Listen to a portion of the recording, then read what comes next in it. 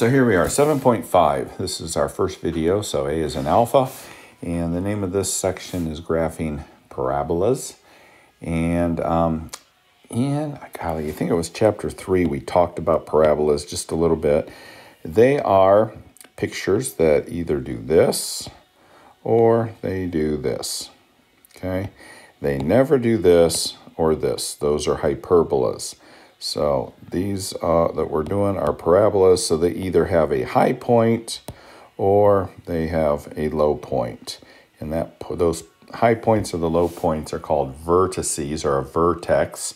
And we'll get into all of that shortly. but first of all, you know, when we're doing linear equations, um, we'd have something like 3x plus 4y equals 12.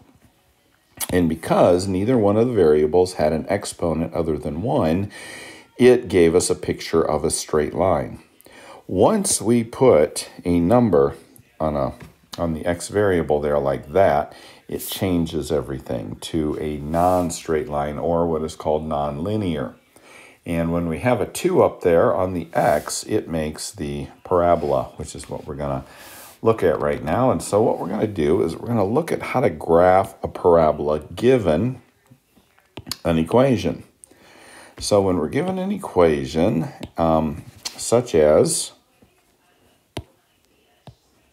y equals x squared minus 3, we can make a table and we can just plug a number in for x and it'll spit out a y. So if we plug in a negative 3 here for x, it gives us a y value of 6. If we plug in a negative 2, it gives me a y value of 1.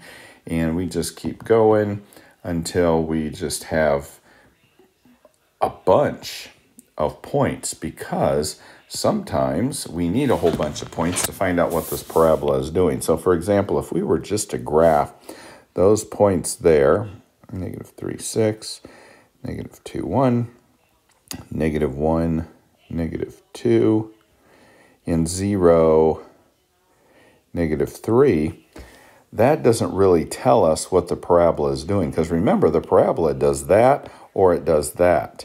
And at this point, we're just given this bit of information right here.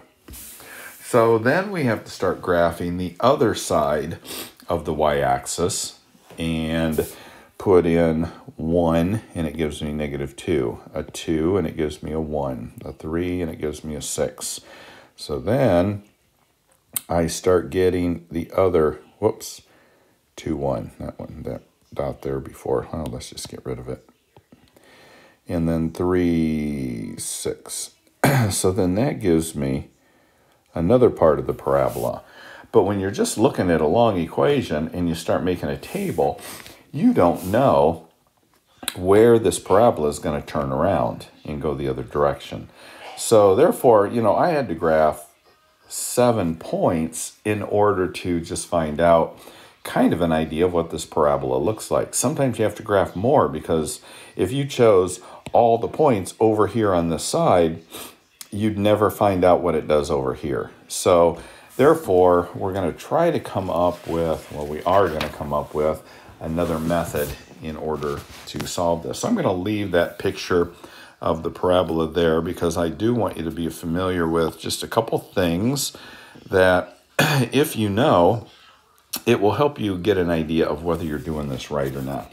Okay, so first thing is there's always going to be a low point and a high point. It's not always going to be on this y-axis. It may be um, over here. Okay, so it's not always on this y-axis here.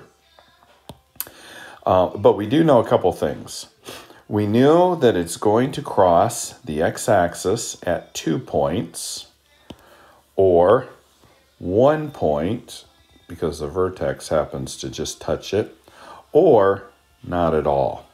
Okay, so crossing the x-axis, we have a choice of zero times, one time if it's the vertex, or two times if it goes through and the vertex is below or in some cases above. So it's crossed there and it's crossed there.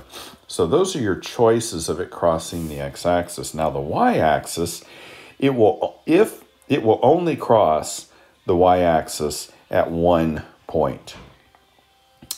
Um, it will always cross the y-axis.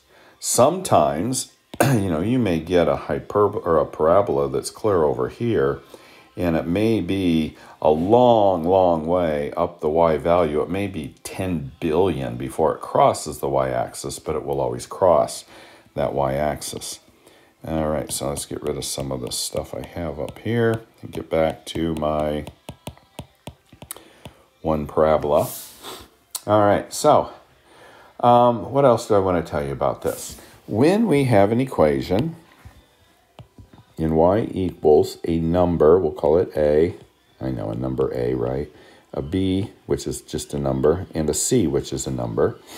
If I have an equation in that form, it will always give me a parabola. Sometimes the parabola opens up, sometimes the parabola opens down.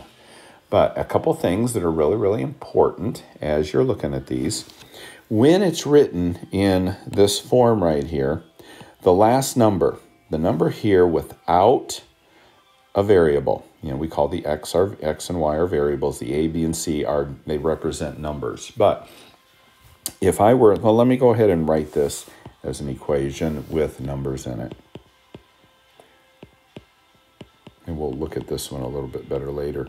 This number and its sign will always be where this graph crosses the y-axis.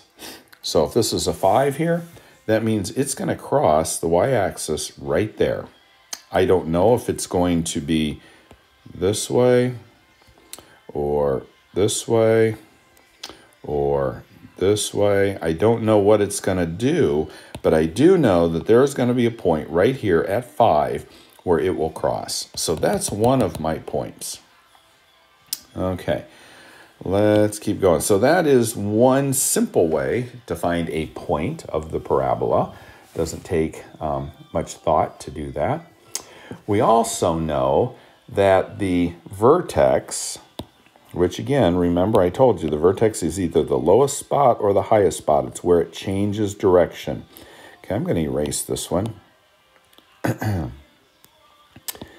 and let's go ahead and, well, let's leave that one there, that equation there. The x value, um, where it turns here, or, you know, here, the high point or the low point, the x value of that, knowing how far to go this way or this way, is going to be negative b over 2a. That is the formula to find out how far left or right of the y-axis that vertex is going to be. All right. I'm not going to go through the math. If you want to see the math and how they got that as a formula, bottom of page 614. But uh, most students either don't care or are confused by it. So I just give you the formula and we'll go from there. So if we use this, as our equation, my x is going to be negative. And what is my b? My b is right here. It is negative 6. So negative, that negative 6, negative b over 2 times whatever a is. What number does a represent here? A 1. So that gives me 6 over 2, which equals 3. So somewhere along this line, And that's kind of name, but we'll get into the name later. No sense in learning that at this point when we're just trying to figure out what to do. So we know that the, the parabola is going to either go this way or this way, somewhere along this line here. we, we're not sure where, but it's going to go open up or open down somewhere along there. So that's a little bit more information than uh, we had prior to. So we'll erase that. So that's my x value. Now let's say that uh, I want to find out where it does make that turn. All I have to do is take that 3 that I got. Let me write that down here. My 3. All I have to do is take that and put it in here for x. So if I do 3 squared minus 6 times 3. So I'm just putting it in the original equation. 9 minus 18 plus 5 equals negative 4. So at 3, 3, and then down 4, that is going to be the high or the low point. That's going to be the turning point or what we call the vertex. And I'll put that in blue just so I remember it. So I know that. And what else did I know? I knew that it, it went through the y value at 5. So I'm going to put that up here. I also know, all right, so now I know that it is going to look somewhat like this, right? And it does the exact same thing on the other side of this red line here. I'm just going to tell you what the name of this line is. It's called an asymptote spelled really weird. So I can at least call it the asymptote as we're, as we're doing this. I know, really weird word. So that line, that vertex um, that goes up and down is the asymptote. All right, so what do I know? I know this point and I know this point. I also know that this parabola reflects across the asymptote. So if this is 1, 2, 3 over to the left, it's also going to be 1, 2, 3 over here. So that gives me yet another point. The book doesn't teach that at this point, but I'm going to help you out with that. All right. So what else do we want to know? We want to know where it crosses the x-axis. We want to know where it, where the um, vertex is and where it crosses the y. We have not figured out where it crosses the x-axis. I've just kind of drawn that just to kind of give you an idea of uh, what that looks like. So let's get rid of, if I can, I'm going to get rid of that blue parabola right now. And let's pretend that we don't know where it crosses the x-axis because we don't have a distinct point yet. Now I'm going to put uh, that other point up here. One, two, three, one, two, three. So I've got a point there. So I don't know where it crosses the x-axis. So that's going to be my next plan is finding out where it does that. So let's get rid of all of, whoops, let's get rid of all of this. And I'm just, I'm going to write the whole equation over again. I'm going to pause this. Okay, so in order to find out where it crosses over here and where it crosses over here, all I do is instead of a y here, I'm going to put a 0. So I'm going to flip this around. I'm going to make this x squared minus 6x plus 5 equals y. I like having the y on the right. And we're going to change that y. We're just going to change it to a 0.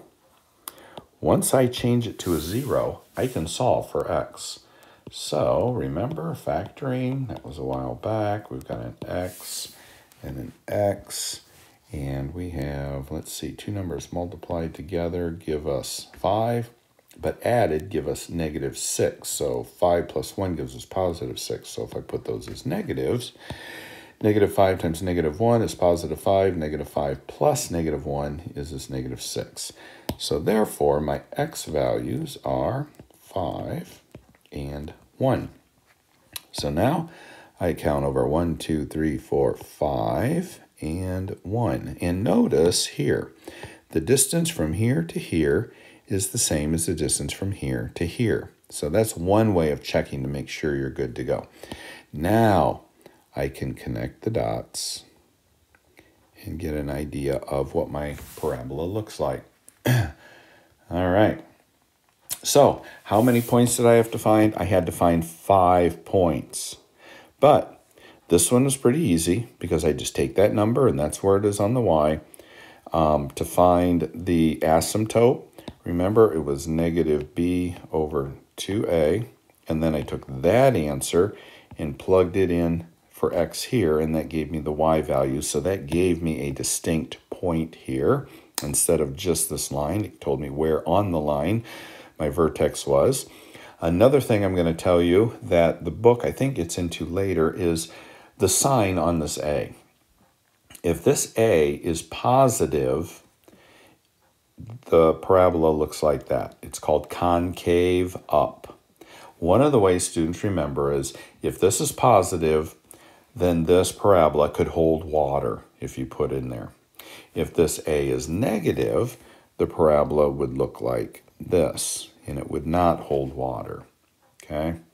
So that's one of the ways some students remember um, whether it is concave up or concave down is dependent on whether this letter right here, A, is a positive or negative, or that number is a positive or negative, which means let's go ahead and in the next video do example two.